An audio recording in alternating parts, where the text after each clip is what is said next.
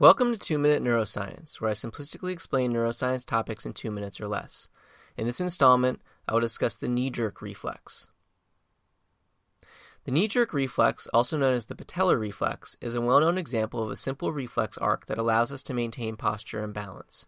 Most of us have had our knee jerk reflex tested at a doctor's visit, when the doctor taps the tendon just below your kneecap, which is the patellar tendon, with a small hammer. This causes your lower leg to automatically kick outward. If this doesn't happen, or if it happens excessively, it can be an indication of a disorder or of damage to the nervous system.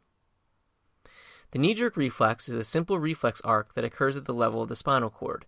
In other words, the associated movement occurs without the involvement of the brain. The brain receives information about the movement after it has been initiated. When the patellar tendon of the quadriceps muscle is stretched, the stretch is detected by stretch receptors known as muscle spindles that are found in the quadriceps muscle. The muscle spindles stimulate sensory neurons that travel to the spinal cord, where they synapse with motor neurons that control the contraction of the quadriceps muscle.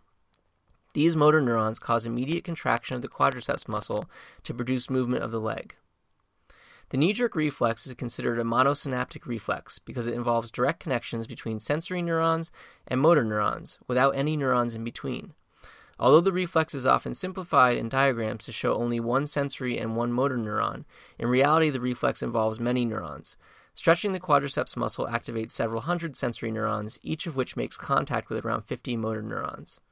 Additionally, the sensory neurons traveling from the muscle spindle to stimulate interneurons that inhibit the activity of motor neurons that supply opposing muscles like the hamstring muscle. The stimulation of these inhibitory interneurons causes the action of the quadriceps muscle to be unopposed.